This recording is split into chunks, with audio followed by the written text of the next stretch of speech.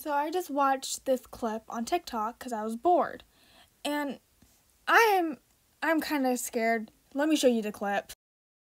One for the night, two for the day. Let's let them know that we don't play.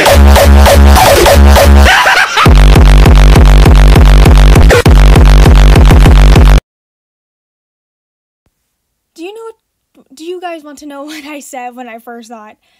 When I first saw the guy getting his head eaten off, I said, "Oh, cool." What is wrong with me? I'm laughing cuz I might need a psychiatrist now. I said, "Oh, cool." Like this is completely normal and I've seen this in my life. Okay, yeah, I do need mental help, but that's not the point. I said, "Oh, cool." to that.